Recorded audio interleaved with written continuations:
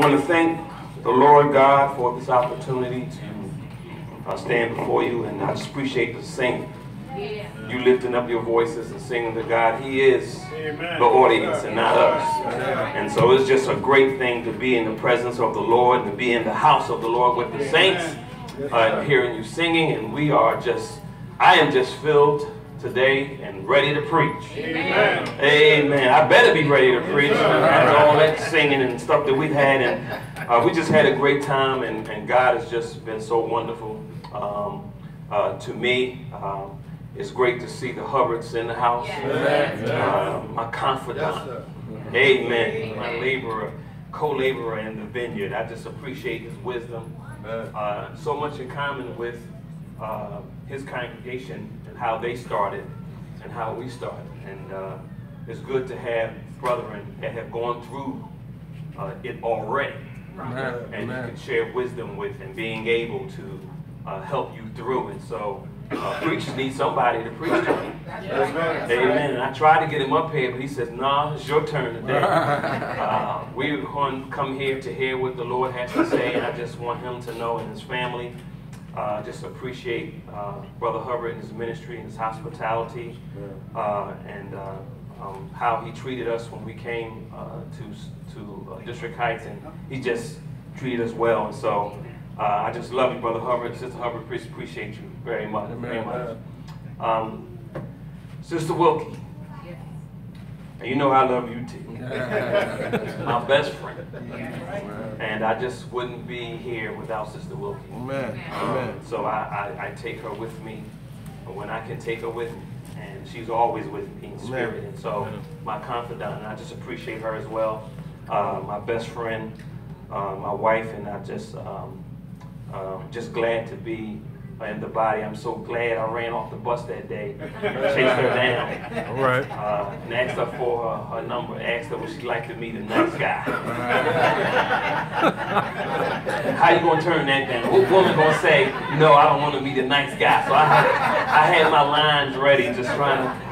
Uh, yeah, yeah, yeah. Black silk, that's what they call it. Uh, so I just had, I'm just glad uh, that she gave me her number. And what I did was I, I, I, turned around so she didn't have anything to write on. And so I just turned around and I flexed my muscles in my back real hard. And, you can do all the writing. I just wanted to let her know that I was solid. You know, what I'm uh, so I, I, I just, when you remember those moments, you know, it's just a good thing to have uh, in my life. And I appreciate my family. Thank you for the prayers and the scripture reading uh, today. Um, if you have your Bible, um, turn to 1 Corinthians chapter 10, 1 through 6. Right. It was read in your hearing, and it says, Moreover, brethren, I will not that ye should be ignorant, how that all of our fathers were under the cloud. One of the key words is fathers. Um, and all passed through the sea, and all were baptized under Moses in the cloud and in, in the sea, and did all eat the same spiritual meat, and all did, and did all drink the same spiritual drink, for they drank of that spiritual rock that followed them, and the rock was Christ. But and you hate to hear that word sometimes. But with many of them, God was not well pleased, for they were overthrown in the wilderness. Now, these things were our examples to the intent that we should not lust uh, after evil things as they also lusted. And there's more to that scripture that we will go over, but I just wanted to read the first six verses just to get you to this particular message.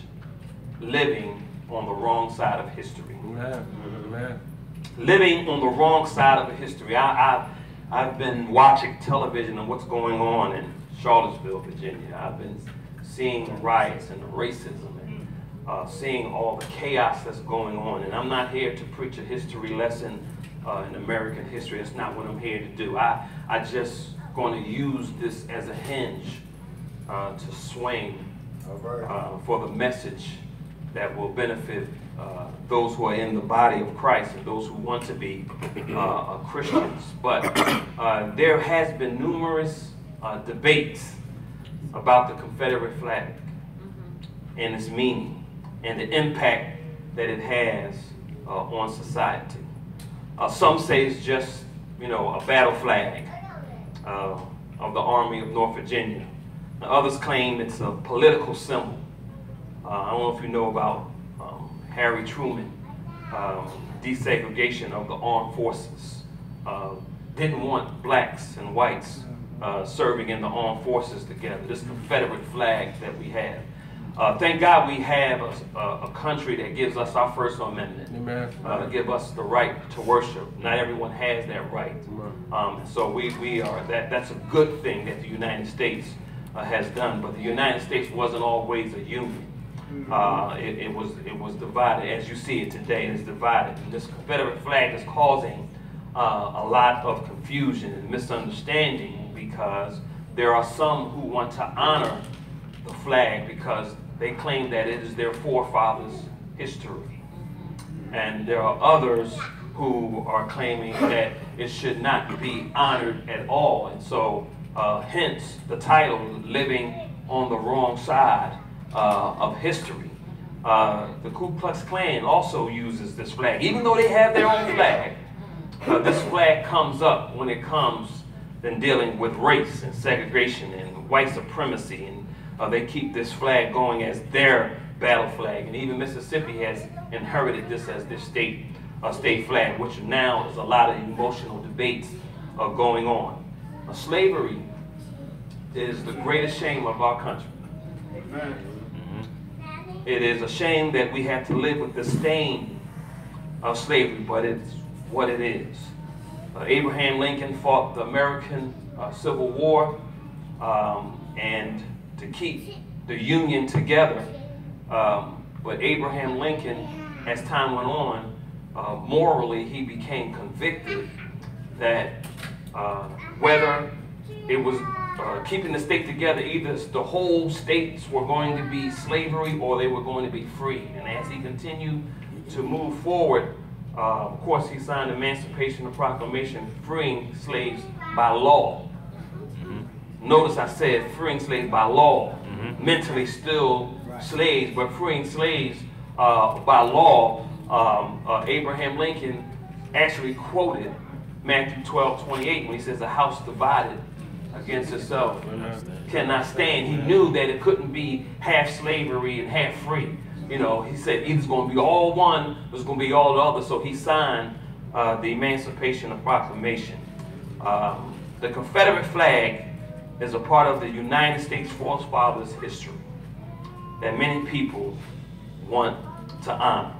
There is a statement, and I want you to, I want to read it because I wanted to quote uh, the president of this Confederate, the, well, he wasn't the president, he was the vice president. Um, his name was Alexander Stephens, or Stephen. And this is what he said. He was the vice president of the Confederacy.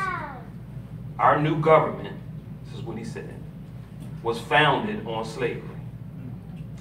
Its foundations are laid, its cornerstones rest upon the great truth that the Negro is not equal to the white man. The slavery, submission to the superior race, is his natural and normal condition. This flag represents what the intention was, and that is to what? To separate. It's about hatred. And all who want to honor this particular flag is honoring on the wrong side of history. I want to read this for you. This is in Ezekiel uh, chapter 18, verses 19 through 24. Um, and when you honor your forefathers' sins, you actually participate in their sin. I want to use this to bridge over to the Bible. It says in Ezekiel 18, 19 to 24, Yet you ask, why does the son not share the guilt of his father? This is the NIV version since the Son has done what is just and right and has been careful to keep all my decrees, he will surely live. The one who sins is the one who will die. The child will not share the guilt of the parent, nor will the parent share the guilt of the child. The righteousness of the righteous will be credited to them, and the wickedness of the wicked will be charged against them.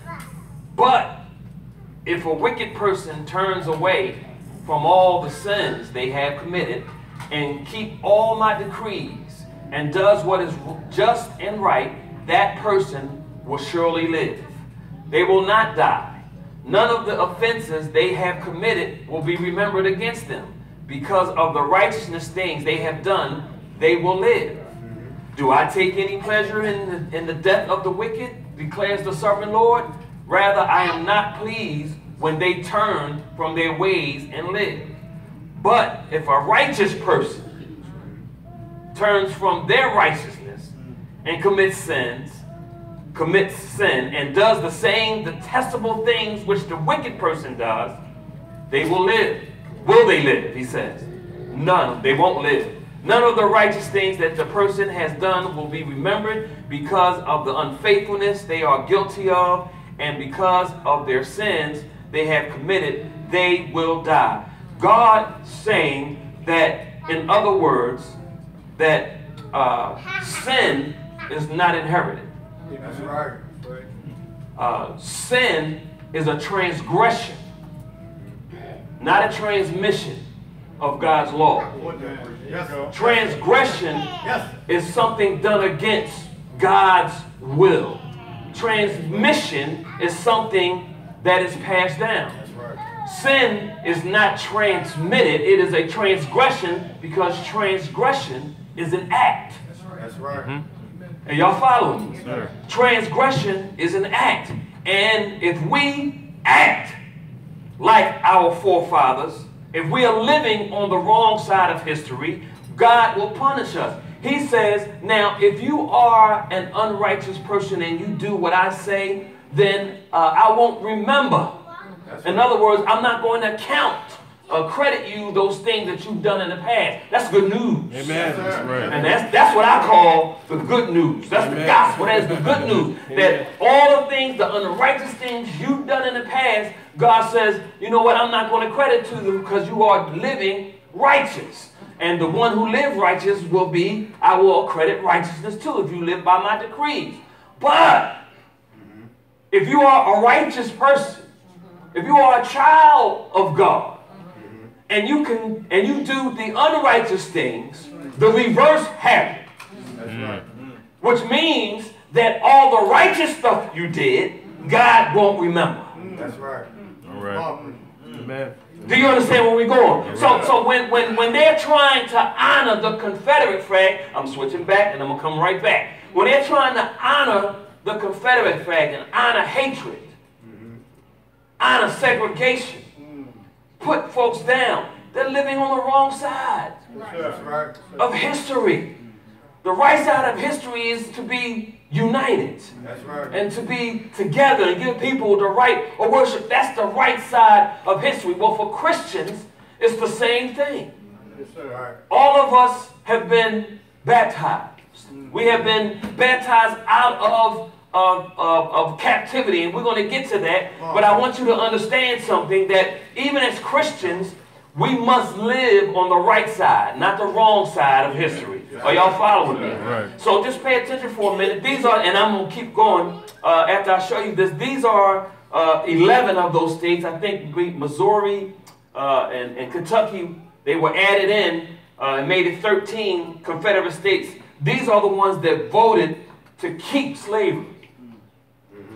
That's what the fight. Because when Abraham Lincoln mentioned that country divided against itself can't stand, what was dividing the country? Slavery. Amen. That's what was dividing the country. Now, of course, uh, uh, uh, as, as, as time went on, they all reunited with the states uh, as time went on. But these were the states that warred against the northern states, the southern states. They were warring because they did not want to give up slaves. And the way that they were treating slaves and, and treating people was about hatred. We were property. We weren't. We were not people.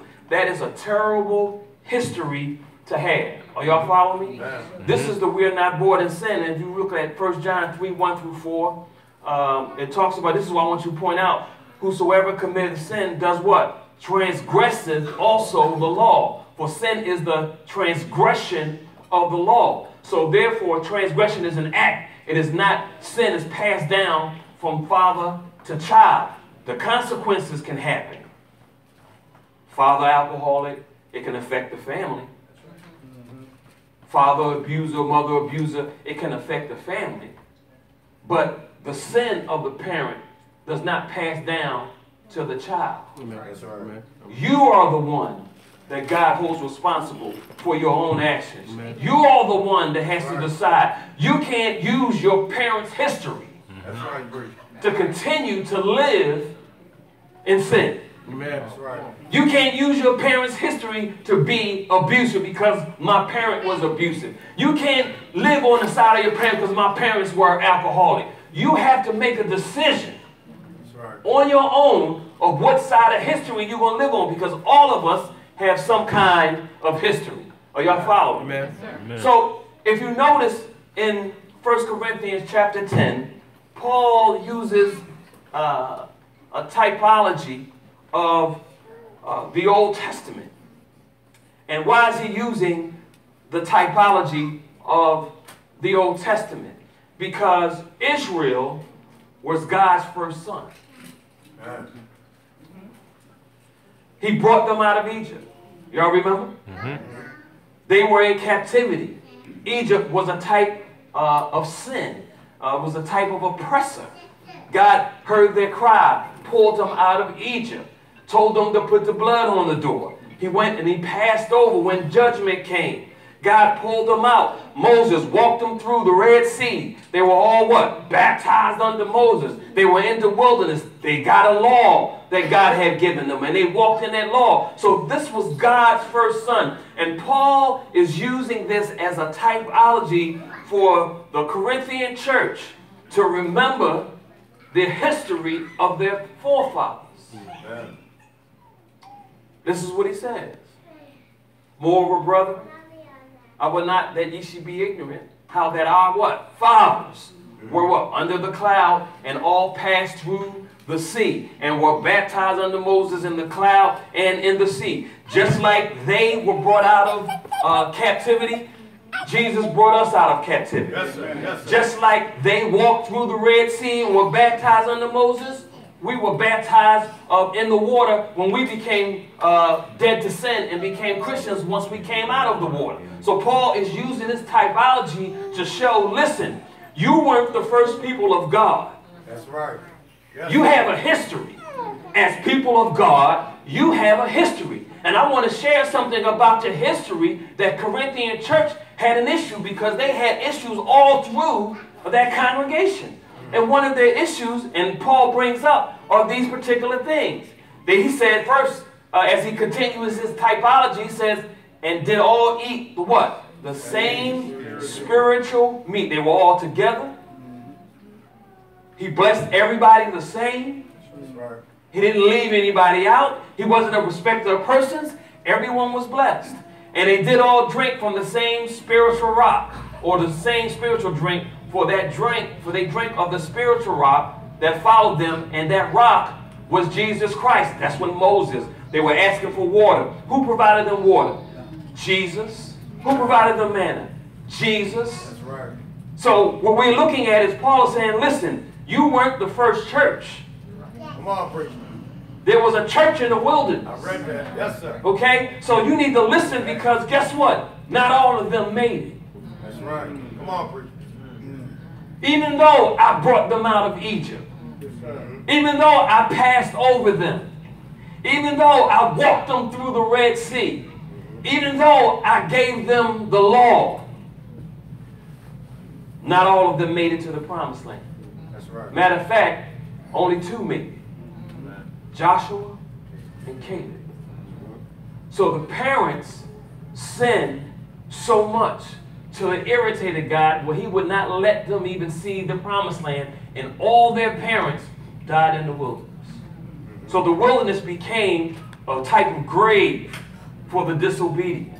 And Paul is reminding them don't think that once saved, always saved. on, Don't think that you can continue to live and do what you want to do, live how you want to live, think how you want to think. Don't you continue to do that because we have a, a record of our forefathers That's right. Come on, and what they did and how Paul is trying to make sure that the Corinthian church does not live on the wrong side of history. Amen. He says, but with many of them, God was not well pleased, That's right. for they were overthrown in the wilderness. Now these things were our what? Example. They are examples. They are examples to the intent where we should not lust after evil things as they also lusted. You know, we got a problem with trying to accommodate uh, or trying to be to fit in with worldly behavior in the church. We think it's okay to just fit in with world behavior, and God's grace is going to continue to cover us. You know, there's some they, they had some issues. One of the issues that they had, this is something that I just pointed out. You remember the murmuring. This is why some of them didn't make it mm-hmm. because God had gave them manna. Mm-hmm. And they were complaining that we always got bread. We always got bread. We want something else to eat. I had salmon back in when I was in Egypt. I, I had crabs. I'm just saying. I, I was just eating good when I was back in Egypt. You brought us out here to die, and they was complaining about the bread. So God gave them so much meat that he, he just he just overshadowed them with quail. Uh, but they were rejecting the bread. Y'all didn't get it. They were rejecting what God was giving them. They were complaining. They forgot where they came from. That's right. They forgot the plagues. They forgot all those things. And so those these are one of the typologies that God that, that's in the Bible. Another one, you probably can't see it that well, but this is a calf. You remember when Moses came down off the mountain with the Ten Commandments and they were they rose up to play, the Bible says. And that's what he mentions uh, in some of the texts. So this is what we're going to see. But I want you to understand that they had a history of sinning against God because of their position. They thought that their position was safe. And they lived and act and craved for evil things. And it's, it's amazing how, because I'm not trying to call out something, you know, you just you just hear stuff. Uh, and, and, and, and I'll, I gotta say some of it. It- You just hear, there are some things, I, I, I'll just put, I'll put me in. That's what's the safest thing to do. So I changed the name so that the, ends- I, I'm just gonna put me in. When I, me and Sister Wilke uh, got married, the job tried to throw me a bachelor party. Come on, preacher. They knew I was a Christian, so they tried to sneak it to get me in a position where I wouldn't deny all the strippers that they were going to bring to the bachelor party. But I caught on to what they were doing, and I didn't show up. Yes, sir. So they had a bachelor party without me. I'm telling you what happened. But what I'm saying is that Christians have to separate themselves, even if you lose friends. That's right. Come on, preacher. That's right. Help the cause. You got to stand for what's right. We want to be associated with, with them so much that we don't realize that we repeat the history right. of our forefathers in the wilderness. Because when the Bible says they rose up the play, that means that they took off the earrings and the gold, they made a calf, which was uh, which they worshipped in Egypt. Not only did they make a calf, they began to play sexually around the calf and worship it as if the calf brought them out. They're worshiping the same gods that Egypt worshiped as if Egypt took them through the took them through the Red Sea.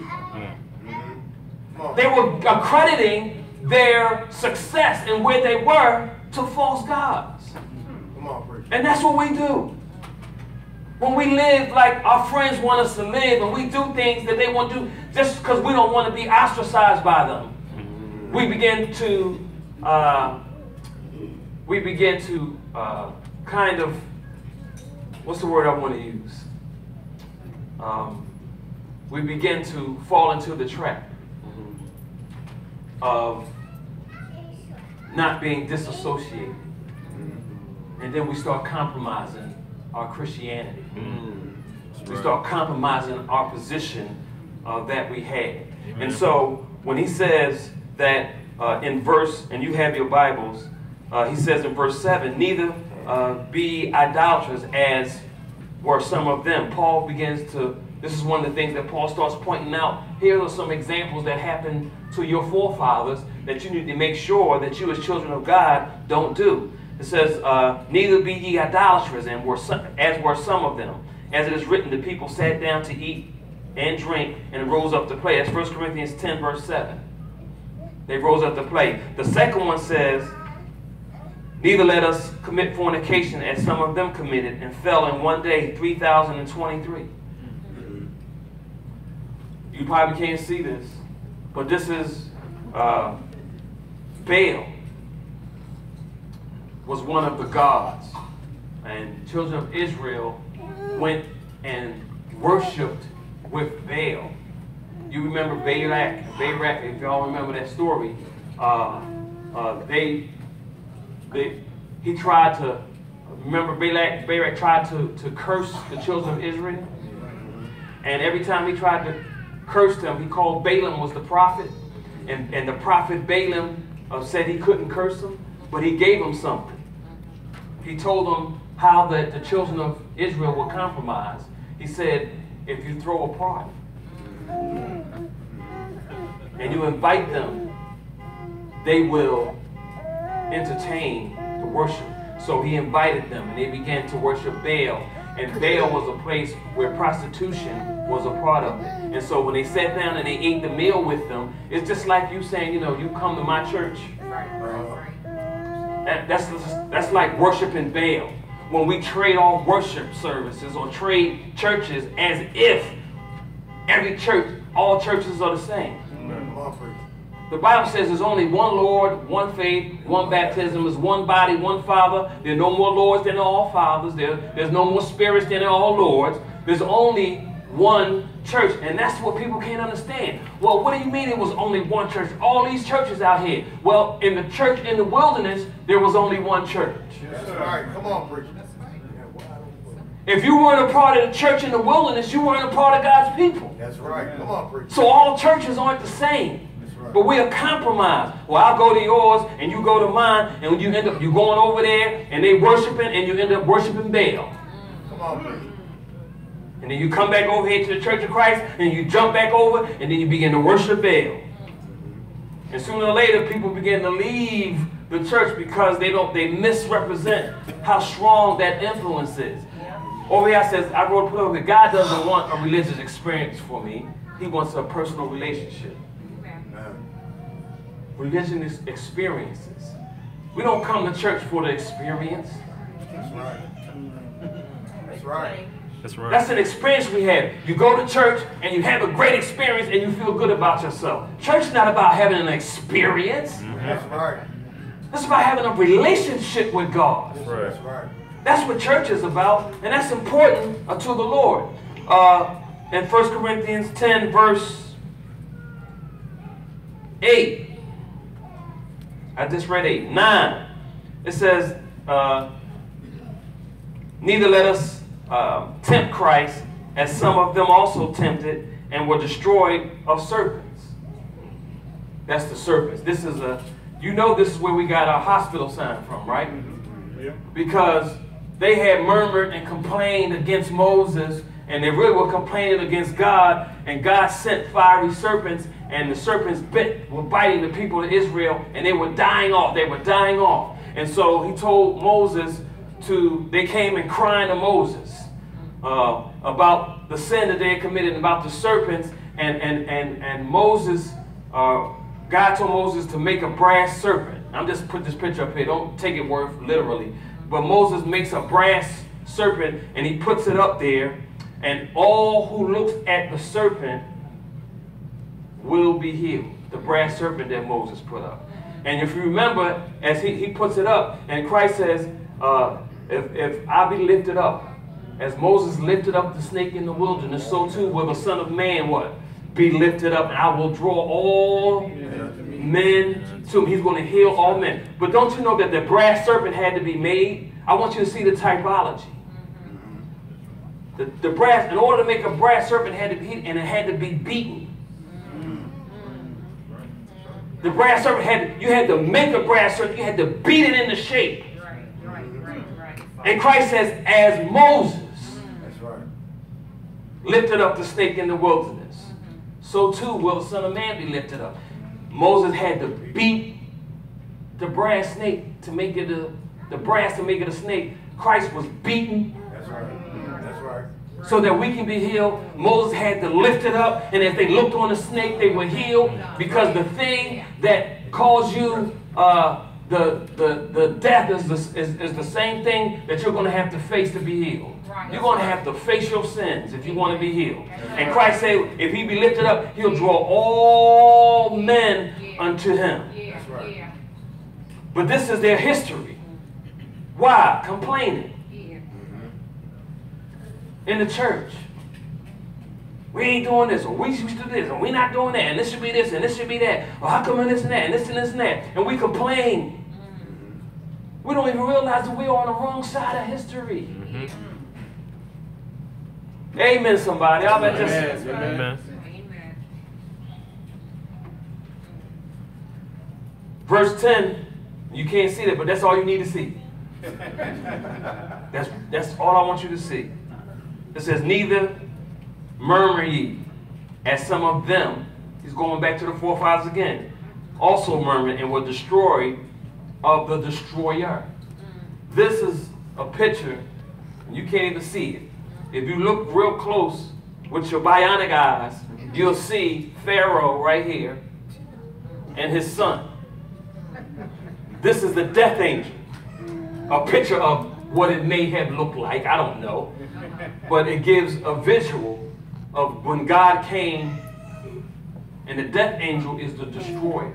Right, right. He's destroying sin. And he came through Egypt and he took all the firstborn who did not have the blood on the door. Mm-hmm. That's the destroyer. It's the death angel. And, and Paul is saying, listen, everyone who came out of Egypt because of their murmuring, because of their complaining, because of their faithlessness, not trusting God. When God said, go and take the land, they didn't refuse to take the land. Because of all the things that have taken place, sent the death angel to all their fathers in the wilderness, and they never made it to the promised land. And Paul is saying, don't live on the wrong side of history. Just because God has brought you a mighty long way. Just because you were baptized in, in the watery graves of baptism, you are now a Christian. You have the grace of God. You have God's favor. Don't take that stuff for granted. Don't think once saved, always saved. Don't you, you can't earn it, but you got to be faithful. You got to be loyal. And if you don't have that works without faith, then your faith is just as dead. Right, right. That means your faith doesn't have any character to it. God says, Paul says, listen, don't live on the wrong side of history. The church, there's only one. In the wilderness, there was one church. And everyone else was outside of the church. If one came into the church in the wilderness, they were called a proselyte. That's right. But they had to come into that one church. God did not give his law to everybody. Right. He gave his law to uh, his children, those who he had brought out of Egypt. He's brought out of sin. And we are just like our forefathers, just like Adam. There are two sides. You have the first Adam, which is one that was made from the ground. Right. But then you have the second Adam, which was a quickening spirit. Man. And the Bible says that if you're going to live by fleshly desires, then you're living on the wrong side of history because you're living out your father Adam. Right. Mm-hmm. But if you walk in righteousness, if you walk in the spirit, you're living like the second Adam, Yeah. That's right. which is Jesus. Yeah. Yeah. What side are you going to make your history on? What side are you going to live on? Right. There's so many things that distract us in the church that have been distracting us. The Moors thing. We got a preachers meeting coming up on Tuesday because uh, as a, if there's a wolf in the church Amen. That's right. That's right. about blackness, pro-blackness, everything is pro-blackness, pro-blackness, and the Bible says that the flesh profiteth nothing. That's right. That's right. Yes, sir. But everything is just black this, black that, black this, because we've been so oppressed for so long that we are going from one side of the pendulum to the other side of the pendulum, and that has nothing to do with spirituality. That's That's right. right. That's right. Nothing at all. Amen. But our men and our women are falling prey to this, and it's not new. There's nothing new under the sun. There's different ways of different things, and people are replacing their ethnicity with Christianity, Amen. Mm-hmm. living on the wrong side Amen. of history.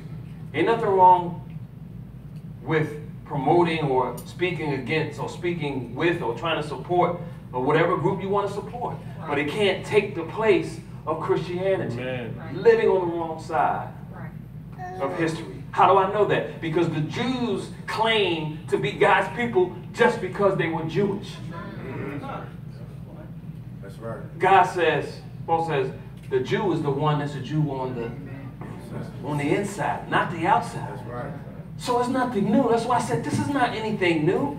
All this stuff is in the book. All the stuff is in the Bible. We need to start preaching and making things relevant to today because there are some things that people think the Bible is just so out of touch with reality Come on, preach. that we preach it as if it can't be understood. Right. Mm. Right. Right. We talk the hermeneutical, typological development of, we talk all that stuff. Just preach the word of God. Teach it plain so people can change. That's right. That's Amen. Right. Because if they don't believe that they can change from reading it, they're not going to read it. That's right. Someone told me that there's hypocrites in the church. That's why they don't come. I said, well, there's hypocrites in the strip club. You go there. Yes, sir. Yes, sir. That woman don't love you. You gave your twenty dollars. Yes, sir. There's hypocrites at the ball game. You ain't worrying about that. That's right. They use it for excuses. That's right. Come on, preach. That's That's right. right. That's in the Bible. Oh, come on. The preach. Bible, we got to make this thing plain. We got to speak to our men. That's right. Our young men are being taken away Take from it their away. families. That's Take right. it away. Yeah. And it's a shame. Yeah. Because young men, we, we've raised up. We don't want to be vulnerable. Mm-hmm. We're scared to speak out and we're scared to, to ask for help. We want to make it look like we got everything together. Right. We're taken out of our homes, families broken, women raised to take care of numero uno. They don't, they don't, don't you depend on no man because a lot of these single moms doing the best that they can and then they don't you depend on no man. So guess what happens? They don't depend on the man. They got their own car, they got their own house, they got their own everything. And so what it does, it takes away what God has said about the man to be able to lead the home. You can't lead me because you don't have anything. Come on, preach. Don't let the devil. And so we go out and we sell drugs and steal and try to get the, the, the, the income that we need to be able to make us look like we got everything going on, but we don't. Right. Right. Right. Right. Right. That's right. We can't even raise our own children. That's right. What side of history we living on? Amen. That's right. Jesus is our example. Amen. Amen. That's right. The spiritual man can take care of every race. It takes care of every ethnic group. It takes care of whatever it needs to take care of. God says everything pertaining to life and godliness is in this book. But we have to be able to preach this book so people can understand it. Stop preaching over folk head That's right. Mm-hmm. and preach so they can understand it. Yeah. Right. What side of history are you living on? I'm worried about the churches. And I'm glad we're having this study on Tuesday at the preachers meeting about Gnosticism. Because people believe that knowledge, you can spiritually, uh, you can actually fix your own self if you have enough knowledge. And that way you don't need God. What side of history we living on? That's not new either. Paul came and comes from Gnostics. Come on, I see a guy that says the unknown God. And Paul says, I know who that is. The unknown God is the Lord and Savior, our Father Jehovah. It's Jesus Christ. And as Christians, we got to be able to understand, we got to start living on the right side of history as Christians so that we can be examples to those who are not Christians. Sometimes we destroy our testimony so much we can't preach to them. That's right. Because we cuss at the job just like they, they, they cuss at the job. So what's the difference? I can't, I, they should be able to tell a difference between a Christian and a, and a non-Christian. There's got to be something about you that's different than everybody else. Why are you coming to church if you're not changing? Right. That's Right. right. Right. That's right. There's a difference between spiritual preaching and motivational preaching. That's right. Yeah. There's a lot of motivational speakers that can give you the joy and the courage and the, the, the power to be able to go out and feel good about yourself, but it doesn't change anything. That's right. What side of history you live on? That Confederate flag was about hate. And I'm not saying America's all right, but thank God we have laws that where we can worship God Amen. as much as we want to worship God. Amen. We have the freedom of speech where we can preach. Amen. If we want to go out and preach anywhere, we can do that. Uh, and everything that man puts his hands on, he's going to mess it up. Yeah. But still, we're living in a country that has the freedom that at least will accept anybody that comes in. That's right. Don't worry about Donald Trump. That's right. Amen. That's right. The reason he's in office, as I said before, is because God wanted him. Amen. That's right. Amen. That's right. He's in control. Do not think that God has, has lost control. That's one of Satan's lies. Yeah. That's To make you think that God is not in control. But he is in control. I've never, there's so many people trying to come together. Now you have the same ethnic groups fighting each other about slavery. Mm. Yeah. Mhm. Because I didn't see a whole bunch of black folks out there. Yeah. That's right. That's right. I'm just telling you what I saw. That's right. People are standing up Yeah. That's right. and speaking out. Sports figures are now standing up and they're speaking out and they're supporting uh, those who have, uh, they're not uh, standing for the flag or they're sitting or putting their hands up in protest because they want the country to change. They want everybody to be equal and not looked at as black or white. We just all want to at least be able to respect each other and get along. That's a good thing. That's right. Mm-hmm. Thank you, Trump, for promoting that. Amen. That's right. Because God is using you. It didn't start with Trump. It's been doing it since Obama was in office. Mm-hmm. That's right. Probably even before then. But still, our history of slavery is a stain. That's right. And so it is with the Christian. That's right. Your, who you were before you became a Christian should be something that you don't want to repeat. That's right. Amen. Amen. It should be something that you don't want to live on anymore. That's right. Now you can live on the right side and be like Paul. You can be schizophrenic. You're trying to do what's right, but you can't. You're doing what's wrong, and I try to do what's right, and evil was present. And every time I try to do what's right, it's not me doing it, it's somebody else. It's something like Paul crazy. Yeah. But he has an internal battle. He's not crazy. Right. Right. He's been transformed. He has another spirit, and he doesn't want to live on that side of history. That's right. right. That's right. That's right. That's right. What about you? If you're not a child of God, you don't have a choice but to keep repeating history because you're not a child of God. You haven't been transformed. You haven't been baptized for the remission of your sins. The transgression is an act, and each act is for each individual, so sin is not transmitted. I know you have churches and Catholic churches and baptizing babies because they think we're born in sin. No, no, no, sin can't be transmitted. Transgression is each individual will transgress at some point in time, so God has provided, provided a way out. What's the way out? Christianity is a way for you to break the chains of slavery of sin. Amen. Amen. That's right. You can first have to hear the word of God.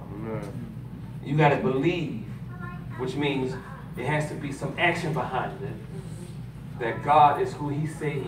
That Jesus Christ is both God and man. He came. He came to die for. He is the physical bread. He is the spiritual bread that has come down from heaven that we need to partake of. And this Jesus Christ is both Lord and Savior. And now He wants to be your master. And he wants you to become a child of God. But you got to hear, you have to believe, you have to repent of your sins. You have to decide that the words that are coming out of the Bible are the words of God. And it has convicted you to move to be baptized. Amen. You're baptized in the water of greater baptism after you've confessed that Jesus Christ is the Son of God. Your sins are washed away. And God begins to operate on your character. And as He operates on your character, you become more and more spiritual and you become sinless. You will sin less, not sinless. Right, right, Mhm. right. Right. But God does not look at you as a sinner. And sometimes we condemn ourselves. Well, I'm just a sinner. I'm not a sinner. That's right. That's right.